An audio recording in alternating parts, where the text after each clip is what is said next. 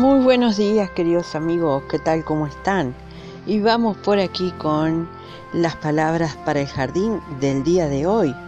Siguen siendo de la misma página anónima y dice así, mira en tu jardín colores de vida pura, aroma que calma el alma. Las rosas crecen con pétalos de amor, los claveles entonan alegres una canción. Mira en tu jardín, hay dos enamorados danzando al ritmo de un alelí encantado.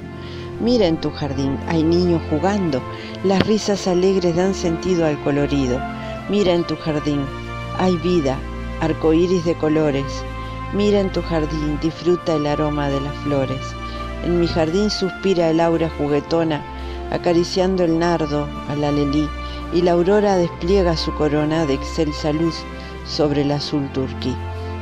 Todo en la natura es embeleso, magno encanto, sublime admiración, ahora en el cual el labio anhela un beso y pide amor ansioso el corazón.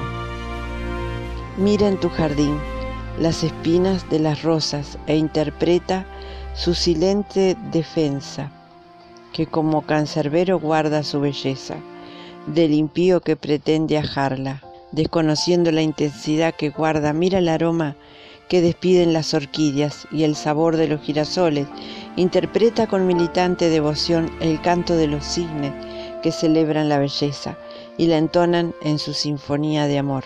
Mira cómo florece el amor que se revela ante la mezquindad, porque el jardín es tu propio Edén, que florece ante la adversidad y se revela a lo limpio.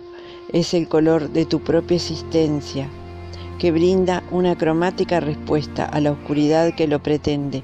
Mira en tu jardín tu flor de loto que vive de las inmundicias y de ella se alimenta sin que contaminen su pureza.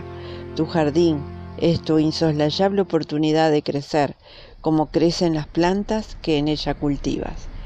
Ay, sí, así es, amigos. Como le he dicho tantas veces, el jardín es el reflejo de nuestra vida. Dedícale un rato, ten uno contigo y no solamente tendrás belleza y otro montón de cosas que produce la naturaleza, sino también el libro de la vida a la mano. Amigos, bendiciones, nos vemos en el próximo. Disfruten lo que resta del videito. Amor para todos.